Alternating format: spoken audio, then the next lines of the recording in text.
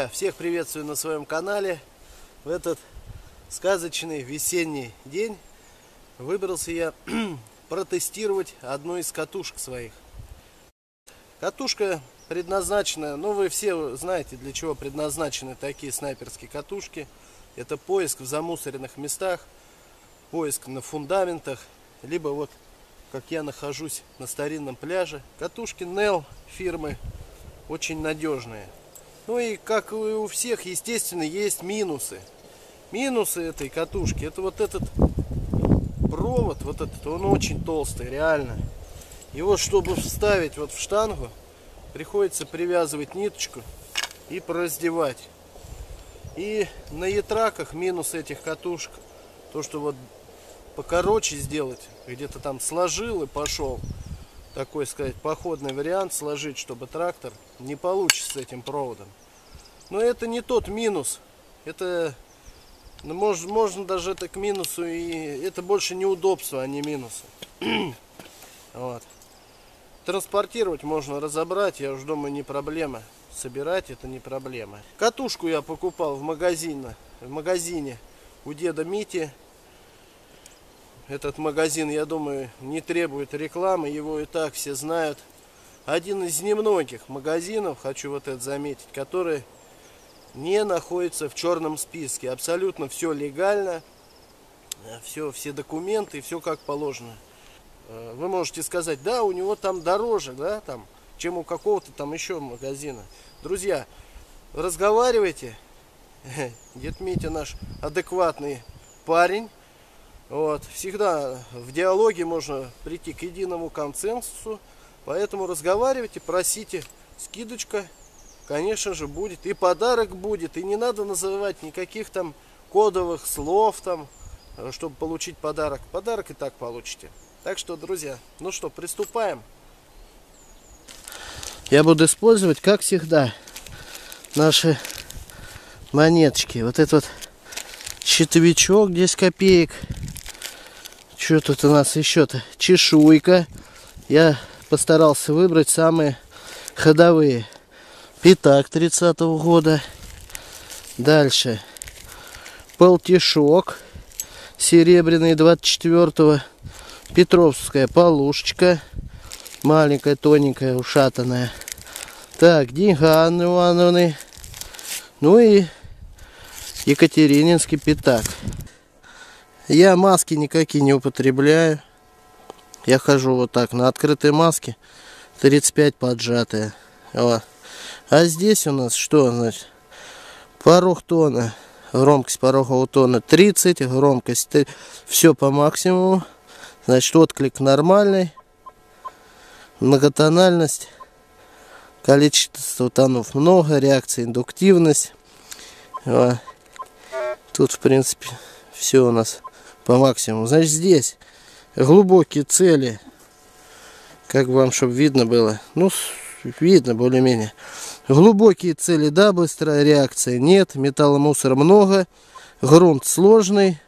Отстройка от помех 11. Я на ней всегда хожу. Ну и это, дальше это все ерунда. В общем, вот на такой, на открытой маске всегда я хожу. Итак, первый у нас будет Катерининский пятак. Посмотрим. Пятнадцать. Видно вам там? Видно, должно быть видно,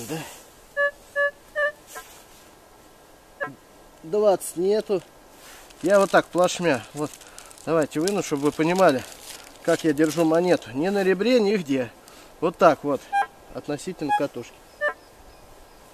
Железных предметов на мне никаких нет. 20 не видит. Так, что-то еле-еле там. О! 19 в обе стороны, друзья.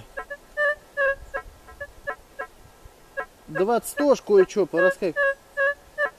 Ну, 19. На 20 не будем засчитывать.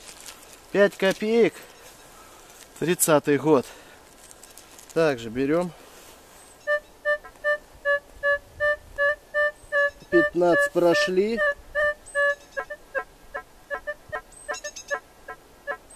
На 19, ну еле-еле.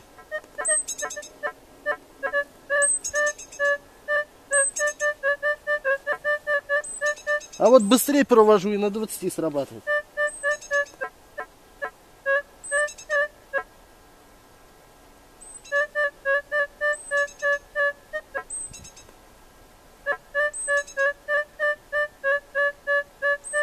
На 19. Эй. Даже на 20 кое-что летит. 19 также оставляем. Пойдет. Не ожидал. Надо же. А вот серебро.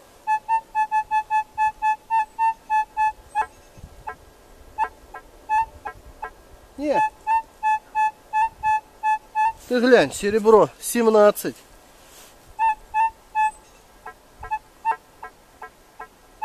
На 18 так себе, но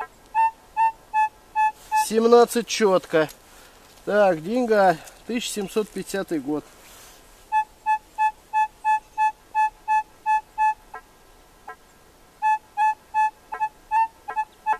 Ах ты, до 17 я бы, наверное, чуть-чуть не дотянул, конечно.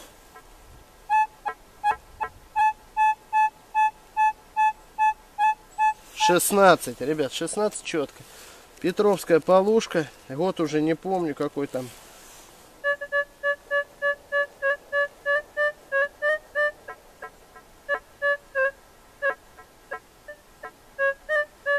Пятнадцать. Нормально. Ну давайте рамочник в зачет, я не знаю, в таблицу вносить его, не вносить. Рамочник, это у нас сейчас скажу какой, 33 год. 10 копеек. Ой, щитовик, а не рамочник. Во. Чувствуете, как разница, какая разница? Черметный сигнал. Ну я уже знаю, я таки копаю. Четкий черметный сигнал я копаю. И вам советую. 10. Не, 14. И все. Так, ну и у нас чешуечка, друзья. Я не помню же, чья она. Сейчас тут гляну. По-моему, Михаил Федорович, да. Я думал, Алексей Михайлович. Что ж, постараюсь ее как-нибудь плашмя держать. О, давай смотреть. 12 уже молчит.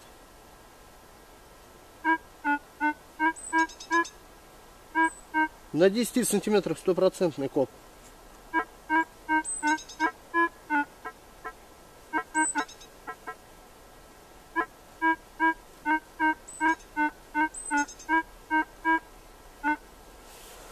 Десять.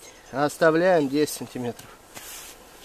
Ну что, вы все видели, друзья, своими глазами. Видео рассчитано на тех людей, которые не могут определиться с выбором, какую конкретно брать снайперскую катушку. Ту, либо другую. Я тоже вот все метался, какую взять, шарпшутер или снейк. В итоге я определился с выбором и взял и ту, и другую. Вот. Короче говоря, катушкой роликов не было, но катушечкой я этой уже успел пошурфить. Катушка полностью устраивает. А, наверное, наверное, это кому-то покажется глупостью, то, что снайперскую катушку я тестирую по воздуху. Я, конечно, с вами в чем-то соглашусь, потому что в земле, конечно, будут отличаться наши показатели, да, то есть где-то, если она там э, этот рамочник, там, щитовик этот показал, если там 10 сантиметров или чешуйка, э, в земле она может звучать и по-другому, она может и не только меньше показать значение, она может и больше показать. Э, в зависимости, да, от, от разных, разные факторы зависят от этого. До новых встреч! Скоро открываем сезон. Ставьте лайки, пишите комментарии, что вы думаете. Ну а мы будем ждать, когда растает земля и пойдем вскоре копать. Не переключайтесь. Пока.